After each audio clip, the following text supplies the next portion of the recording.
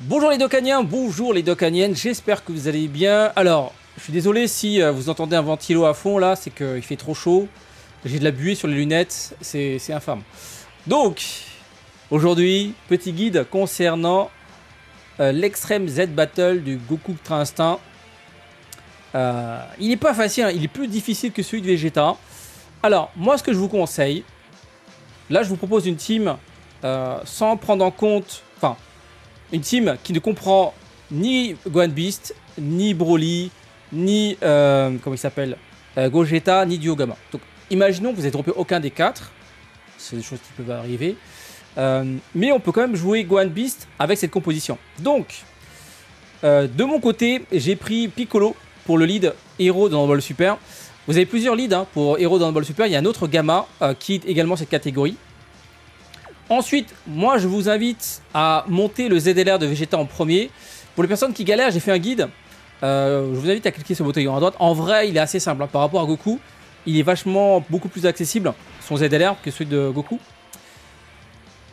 Et puis le reste, euh, bah, il faut jouer lui. Il faut ramener euh, le duo ZLR, enfin Goku, Vegeta Bleu, Endurance, qui sont très très bons. Alors j'ai un seul doublon, vous allez voir que ça suffit largement pour faire le- les dégâts. Alors je rappelle ici que la catégorie demandée, c'est euh, Guerrier Galactique. Euh, enfin, Galactique, c'est euh, tout ce qui est freezer, couleur, etc. Et j'avoue que c'est un peu galère en vrai. hein. C'est un peu galère euh, de partir avec cette team. Avec Gohan B 100%, normalement vous allez faire le, café, voilà, tout simplement. Le reste de ma team, c'est des vieux trucs, hein. ZLR Végétaux, ZLR Godku. Alors je crois que lui il a pas de doublon en plus. Mais bon, essayez d'avoir une rotation à peu près comme ça. Et normalement ça devrait passer. J'ai bien dit normalement. Après, euh, il y a de fortes chances qu'on meure avant. Euh, là, si on se mange... Je crois que on va prendre juste une auto-attaque, mais on va prendre tellement cher. S'il se met pas au milieu, normalement, je surviens. Euh, je pense. En théorie. Voilà. Donc, normalement, ça devrait passer. Alors, Gohan Beast, euh, il n'a pas tout son passif, mais ça devrait, je pense, aller, non? Parce qu'en fait, quand t'as pas l'avantage de la catégorie, tu te fais pulvériser. Bon, allez, c'est parti, les amis. Et là, je vais taper fort parce qu'à chaque fois que je prends une attaque, je gagne du crit. Aïe, aïe, aïe. Je mange l'aspect. Oh Mais non. Je suis tombé sur un, un Migatenobist. Incroyable. Regardez la patate. Une patate, je l'ai mis euh, quasiment mid-life. Non mais ça existe, hein, les Migatenobist. Non mais là j'avoue, il a esquivé juste l'attaque spé. Ah, il le finit. Il le finit presque. Et le Juba le termine. Bon, en théorie, euh, Beast il tank. hein. Il prend genre 300 000 mais il tank. De toute façon, s'il meurt pas euh, par Gohan Beast, il meurt par euh, votre, euh, votre Juba Evolution ZLR. Donc voilà les amis, vous prenez pas plus la tête que ça, cherchez un Gohan Beast en ami. Et puis euh, et puis let's go hein. Bon bah du coup, on va pouvoir éveiller notre Goku et j'en profite pour vous donner quelques conseils par rapport à son kit. Alors un petit Migaté. Hop hop hop. Il est où? Attends. Non défini utilisable. Voilà. Au niveau de l'arbre, euh, vu qu'il a, comme pour comme Vegetable Evolution, il a beaucoup de crits, je vois pas trop l'intérêt de lui donner du crit. Voilà. Euh, pour l'esquive, c'est pareil, je vois pas trop l'intérêt de lui donner de l'esquive. Sauf si tu veux vraiment gratter 3% sur l'esquive. Parce que de base, il a 77% d'esquive. 77% d'esquive, c'est pas mal. Il gagne 7% d'esquive supplémentaire par esquive à réaliser. Euh, il a du crit garanti quand la jauge du kit à 24. Euh, et puis, qu'est-ce qu'il a d'autre? Il a 100% d'esquive à la première apparition. Donc, euh, donc voilà. Et puis, qu'est-ce qu'il a d'autre? À chaque fois qu'il esquive, il gagne du ki, il gagne de la défense. Ok. Donc, globalement, euh, il faut tout mettre en attaque sup. hein. Je pense que c'est le meilleur euh, investissement possible.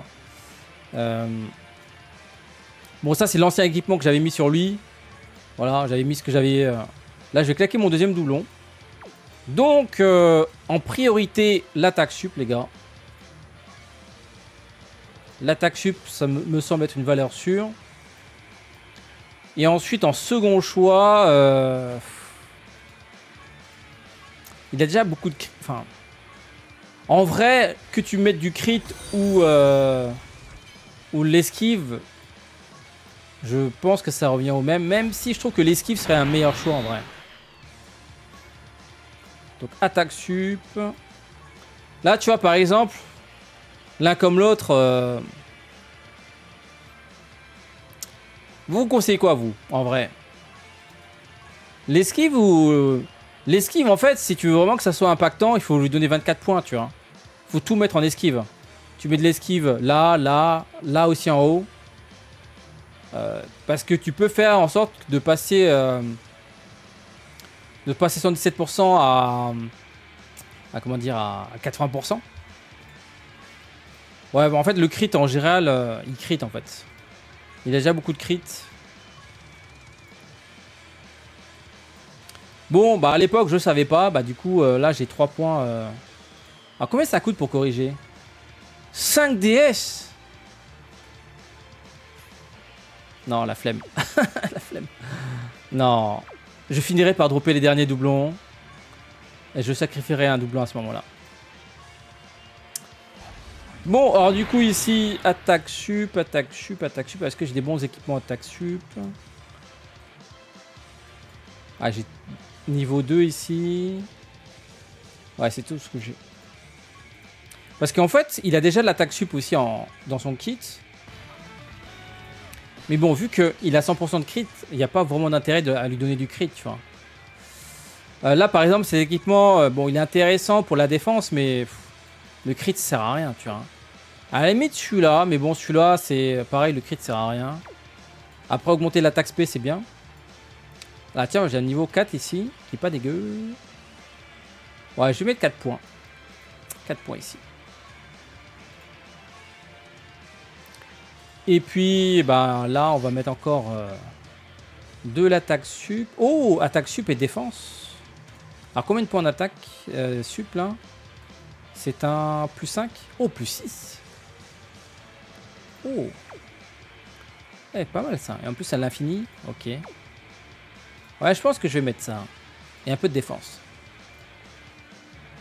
32 points en attaque sup, ça fait 64% euh, d'attaque supplémentaire.